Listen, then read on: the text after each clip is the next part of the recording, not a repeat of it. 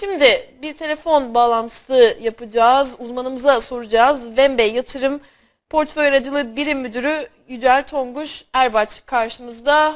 Hoş geldiniz Tonguç Bey yayınımıza. Merhabalar Reyhan Hanım. Hoş bulduk. İyi yayınlar diliyorum.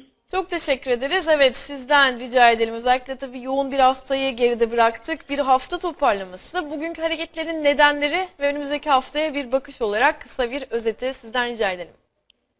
Evet bugün e, geçtiğimiz haftaya daha doğrusu haftanın son günde piyasalara baktığımızda e, bir olumsuz havanın e, düzeltmesini yaşadığımızı söyleyebiliriz. Özellikle e, dün e, Avrupa Merkez Bankası Başkanı Draghi'nin açıklamaları sonrasında e, özellikle parasal genişlemeye e, etkileyecek, bunu e, yapabileceklerine dair önümüzdeki birkaç ay içerisinde e, olumlu görüşlerin açıklanmasından sonra biraz daha hem altına hem e, piyasalara bir olumlu hava e, gözlemledik. Özellikle buna Japonya'dan gelen ve Çin'deki özellikle likiditeyi piyasaya sağlamaları ve piyasayı rahatlatmalarıyla birlikte bugün bir sert yukarı yönlü hareket izliyoruz. Özellikle Avrupa ve Amerika borsalarında içeride de sizin söylediğiniz gibi Türkiye'deki e, BIST endeksine baktığımızda bir yükseliş hareketi söz konusu.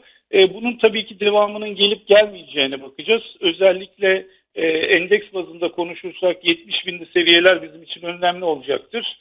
E, bu seviyelerin üzerinde kaldığımız e, sürece e, özellikle yabancı alışlarının da nispeten gelebileceğini söyleyebiliriz ama şu an için dün dolar TL'de 3.05'ten 3'lere doğru bir hareket gördük. Bugün hafif e, 3-3.02 arasında seyrediyoruz. Endekste de 69.400-69.500 seviyelerindeyiz. Bu da bize bu son 3-4 günde yaşadığımız olumsuz havanın e, bir tepki hareketi olduğunu gösteriyor. Burada tabii ki belirttiğim gibi endekste 70 bine, dolar TL'de de 3 seviyelerine e, dikkat etmemiz gerekecek.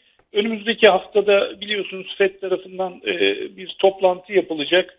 E, yıllık bazda e, bunun 8 kere e, düzenlendiğini düşünürsek 2016'nın ilk toplantısı olacak.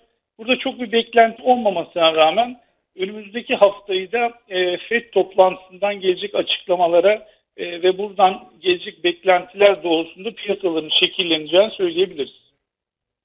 Evet çok teşekkür ediyoruz. E, Tonguç Erbaç yayınımızda katıldığınız için çok teşekkürler.